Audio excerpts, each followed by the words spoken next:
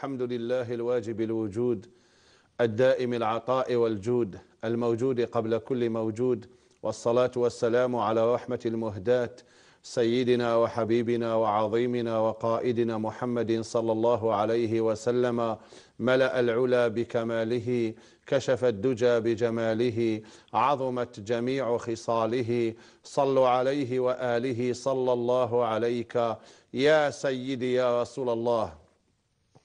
سائل من الشرق يقول توفيت والدتي رحمها الله تعالى بعد أن بلغت 103 سنوات فهل يجوز أن نقيم لها الثلاثة أيام والأربعين؟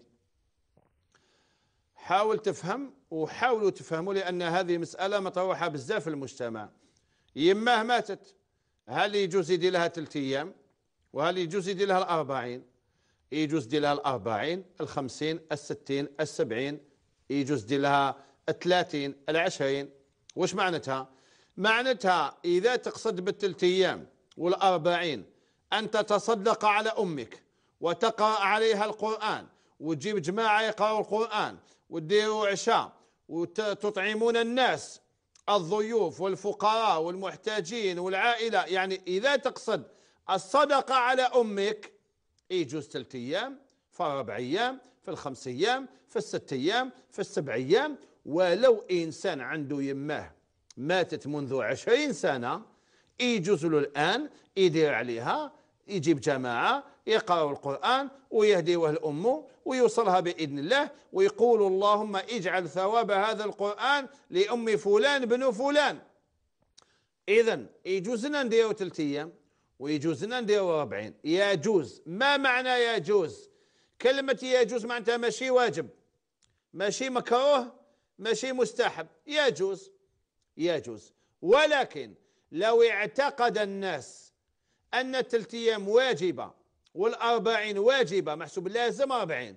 ماشي واحد وأربعين ماشي تسعة وثلاثين ماشي خمسة وأربعين لازم أربعين. لو كان ما نديرش في الأربعين حرام عليا. هنا تولي بدعة منكرة.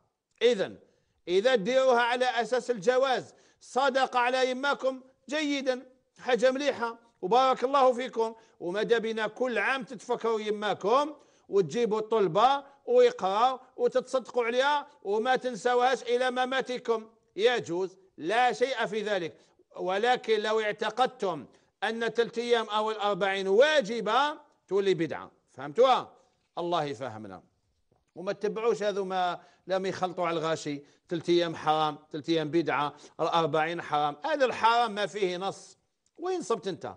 ربي قال أعوذ بالله من الشيطان الرجيم. وما آتاكم الرسول فخذوه.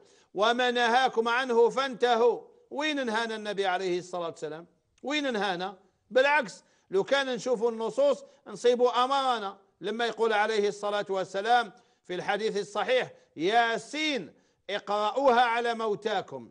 ياسين اقرأوها على موتاكم. ها ثلاث أيام يجوا يقرأوا على الميت ويهديوا له القرآن في الأربعين كيف كيف؟ يقرأوا على الميت. وهذه عادة الشعب الجزائري يدعوا للميت يترحموا عليه. بني وتيلان قال لك يقرأوا ستين حزب ويهديوا له سبعين ألف مرة لا إله إلا الله محمد رسول الله. وين تصيبها كيما هذه؟ وين صبتوها؟ الشعب ما شاء الله. والله الشعب ما شاء الله. يصدق على الميت ويترحم عليه. حتى واحد كي يموت شغل يموت ماشي خايف. على باله باللي عنده الأعمال تاعو الصالحة وإلا كاش ما حاجة راه مزبلها ولا إن شاء الله الدعاوي تاع المؤمنين صلاة الجنازة يصلوا عليها بالمئات يزيدوا يدعوا لأولاده يقرأوا عليه القرآن يصدقوا عليه إن شاء الله ربي يسمح له ويغفر له. جاوا حبوا يمحيوا كلش. قال لك ما تتراحم على الميت ما تقرا له قرآن ما تهدي ما تصدق عليه خلاص خليه يروح هكذاك. حسبنا الله ونعم الوكيل.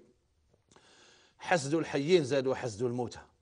سائل من الصيف يقول أنا عامل في شركة بترولية ما حكم التأمين على الحياة؟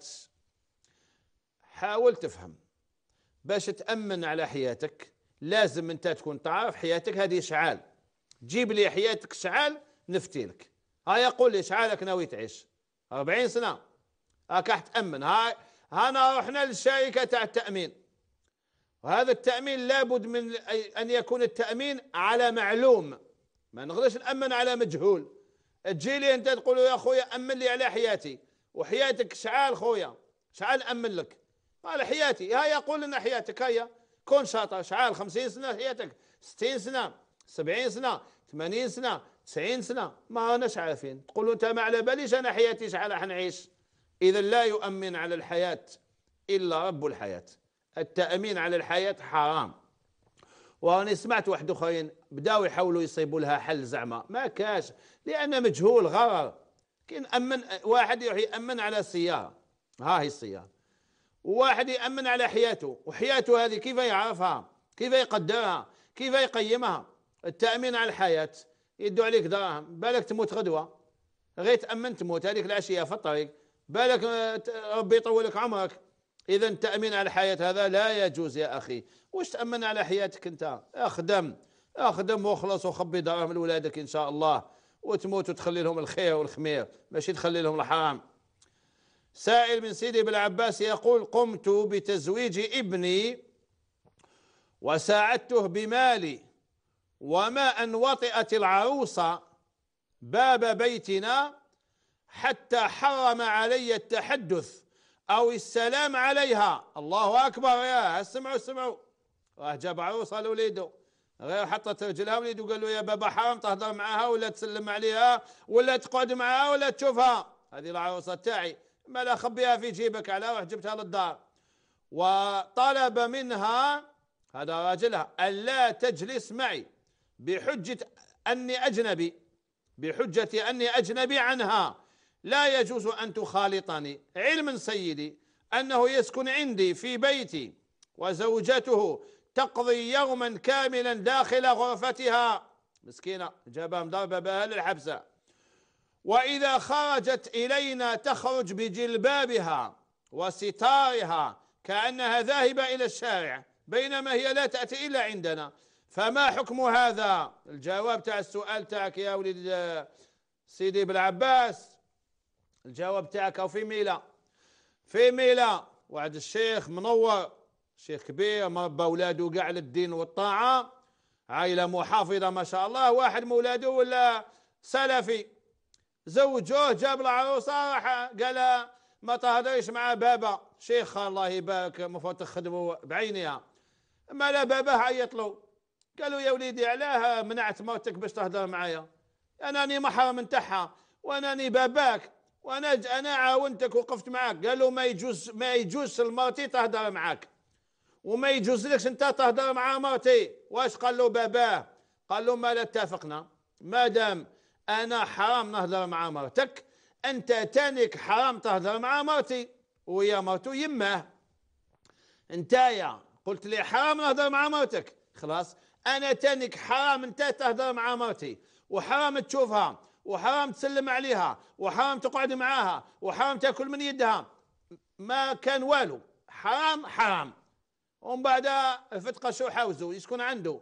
ما لا تماك دخلوا خاوته يصلحوا كيفاه قالوا إذا إذا حرام أنا نهضر مع مرتك أنت حرام تهضر مع مرتي. هذا رجل جاهل عليه أن يتعلم. وعليه أن يتوب وعليه أن يستغفر. لقد أساء إلى دينه وأساء إلى نفسه وأساء إلى زوجته وأساء إلى والده. وهذا من العقوق لأن المرأة زوجة الإبن يجوز لها تهضر مع شيخها يجوز لها حتى قدامه ما الخمار. لأنه محرم لا يجوز أن يتزوجها. يعني حسبنا الله ونعم الوكيل وين وصلنا في هذا هذا المسائل هذه المصيبة هذه. إذا آه، هذا الزوج إذا يسمعنا عليك أن تتوب وتستغفر وتسأل أهل العلم. ما تديش دينك من عند الجهال من الجهل المتعصبين الذين لا يعرفون دينا ولا فقها ولا عقيدة. دوك أنت في بالك واش راك تحفظ موتك من بابك؟ يا أخي الزوجة هذه يحفظها الإنسان من الأجنبي من كيف تحفظها؟ من بابك وإذا كان بابك حرام يهدر معاها ما لا خاوتك واش حكمهم؟ ستقتلهم. شوف كيف يدخلوا الفتنة في البيوت. يولي الأب ما يهدرش مع وليده. شت هذا الفكر اللي جانا هذا الفكر الوهابي المتعصب اللا مذهبي اللي ما عنده حتى معنى. كيف رد الابن ما يهدرش مع باباه؟ والله غير هذا القصة غير قصة واقعية. قال له قال له يا بابا ما تهدرش مع مرتي حرام تهدر ولا تشوفها ولا. نهار كامل هي في بيت مسكينة. مغلوقه عليها مغلوق عليها يروح الخدمة يغلق بالمفتاح.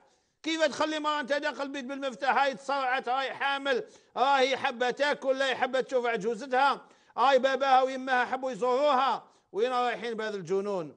حسبنا الله ونعم الوكيل. واحد طالق مرته ما خلت حتى سوق. وواحد غالق عليها بالمفتاح. يا والإسلام دين الوسطية دين الوسطية.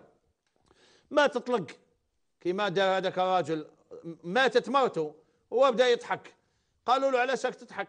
قال لهم لي اول مرة من نهار تزوج بهذه المرأة راني عارف وين هي رايحة يقصد للمقبرة. هذا ما ما هو مقبول والآخر ما هو مقبول. يغلق عليها ويمنعها ويغلق بالمفتاح حتى ولو يديروا حيلة يعني يدير كارت باش يشوفوا لها حلت.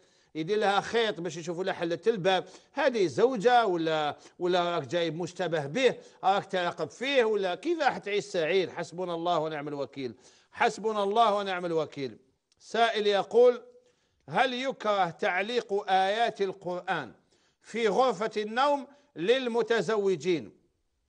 لا شيء في ذلك. وذهب بعض العلماء إلى الكراهة ولكن الكراهه هذه إذا أصابتها نجاسة ولا كانت تتغبر تتنجس ولكن الأفضل المتزوجين يقرأوا القرآن.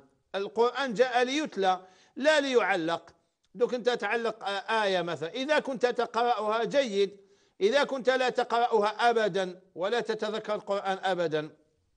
فهذا من هجران القرآن. اذا من باب الحرمان ما هوش حرام؟ ما هوش حرام؟ وإن شاء الله الأمر خفيف. ولا شيء عليكم. وأنا قلت ذهب بعض العلماء إلى الكراهة. قالوا لأن الغرفة الزوجية يعني تنافي وقار القرآن. هكذا ذهبوا. سائل يقول هل صحيح؟ لا يصح حضور العرس إلا بدعوة من صاحبه. نعم لا يجوز للإنسان يحضر العرس إلا إذا عرضوا. إلا في حالة واحدة قال العلماء إذا كنت تعلم أن صاحب العرس سيفرح بقدومك.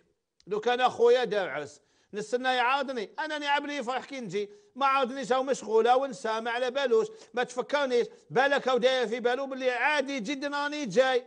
أما لا أنت شوف إذا كان يصر بقدومك روح. إذا ما كنت لا تعلم هذه المسألة فعليك أن تنتظر العزومة ولا شيء لا شيء على صاحب العرس. يعني إذا أنسى أو أغفل إذا كنت أنت تعب لي يفرح اذهب إلى العرس. والسلام عليكم ورحمة الله وبركاته.